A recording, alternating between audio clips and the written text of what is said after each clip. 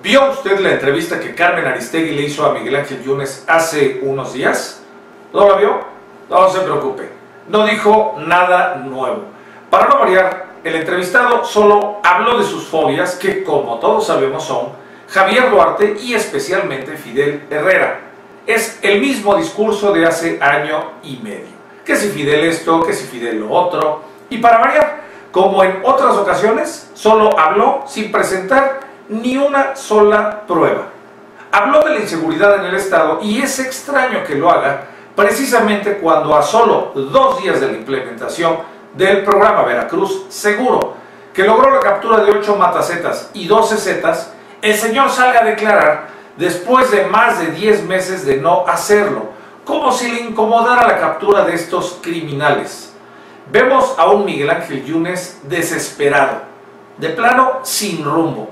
Cuando Aristegui le pregunta si puede demostrar lo que dice de Fidel Herrera, se limita a decir, y lo citamos textual, que lo sabe todo Veracruz y obviamente estamos haciendo un análisis.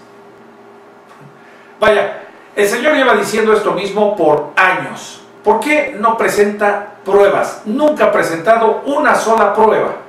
Después, la misma Aristegui le pregunta acerca de los cuerpos encontrados en Veracruz y Yune le responde, yo primero mencionaría el tema de las fugas porque conozco perfectamente bien el sistema penitenciario de Veracruz. Habría que agregar que no solo el de Veracruz, pues hay que recordar que bajo su tutela se fugó nada más y nada menos que el Chapo. Más adelante en la misma entrevista se niega a identificar a quien, según él, organiza los secuestros desde el interior del gobierno estatal en Veracruz, diciendo que preferiría no identificarlo. ¿Preferiría?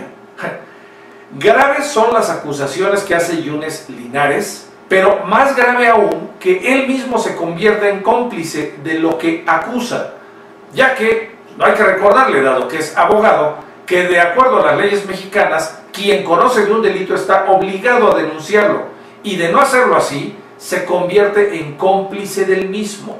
Los veracruzanos y México exigimos que el señor Yunes presente las pruebas de sus dichos y proceda legalmente en contra de quienes ha señalado como responsables de diversos delitos.